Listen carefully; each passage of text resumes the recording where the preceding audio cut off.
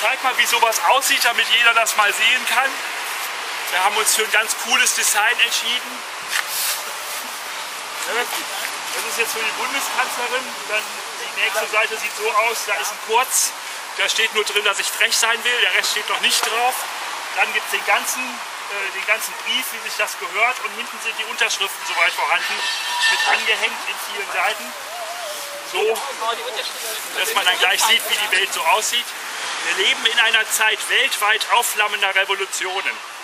Selbst in Deutschland ist die Lage inzwischen so angespannt, dass man befürchten muss, auch hier eine Revolte auszulösen, nur weil man sich entschieden auf den Boden der grundgesetzlich garantierten Menschenrechte stellt.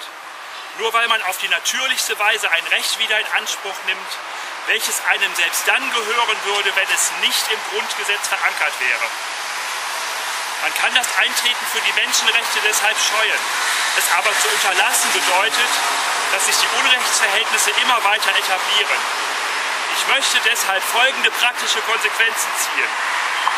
Ab heute widerstehe ich offen jeder staatlichen Zumutung, ein mir unsinnig erscheinendes Arbeitsgebot anzunehmen oder unsinnige vom Amt mir auferlegte Regeln zu befolgen.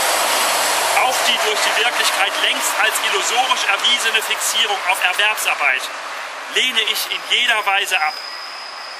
Ich beanspruche ein unbedingtes Recht auf ein freies, selbstbestimmtes Leben, welches ich einer von mir selbst gewählten, mir selbst sinnvoll erscheinenden und mir nicht von außen vorgeschriebenen Tätigkeit widmen darf. Auch wenn ich durch die wirtschaftlichen und politischen Verhältnisse gezwungen bin, dafür Hartz IV in Anspruch zu nehmen. Ich spreche jede Arbeit heilig, die aus einem inneren, ernsten Anliegen eines Menschen folgt unabhängig davon, ob sie sich äußerlich oder innerlich vollzieht und unabhängig davon, ob sie einen Erwerb ermöglicht oder nicht.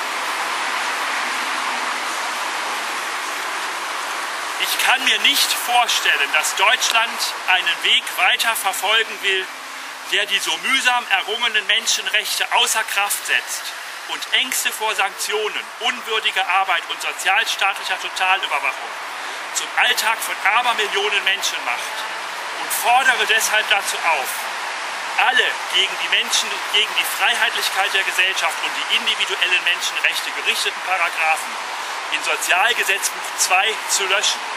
Vor allem die Paragraphen 2, 31 und 32 und den Artikeln 1, 2, 6, 11, 12, 13 und 19 des Grundgesetzes wieder uneingeschränkte Gültigkeit zu verschaffen. Natürlich rechne ich mit Sanktionen, weil man nach Paragraph SGB II kaum anders als mit Sanktionen auf eine solche Ankündigung reagieren kann. Wenn ich Sanktionen erhalte, ist im Sinne der Wiedereinsetzung der Grundrechte der Klageweg zum Bundesverfassungsgericht nach Karlsruhe geöffnet. Es wird darum gehen, ob der Mensch in Deutschland ein bedingungsloses Existenzrecht hat oder ob er sich ein menschenwürdiges Leben erst verdienen und dafür Zwangsgehorsam, Zwangsarbeit oder unwürdige Niedriglohnarbeiten leisten muss.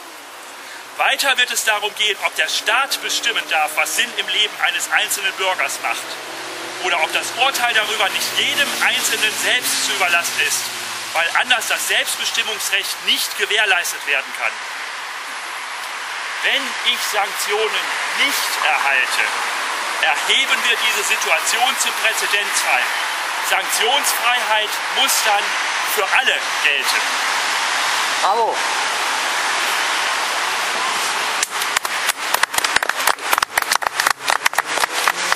Ich gebe das heute hier ab.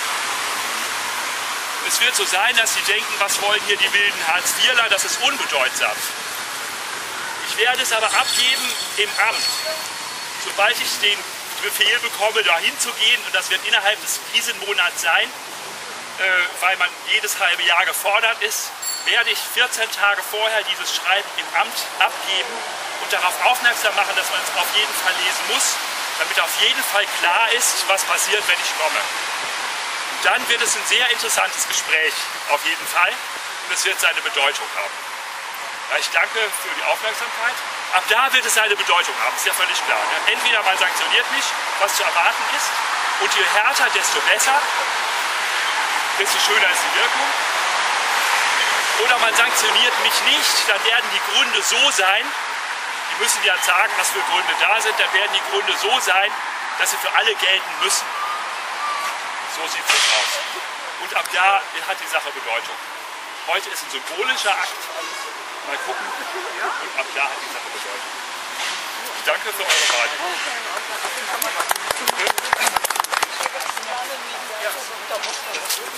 Das wird weitergereicht. Das ist gut.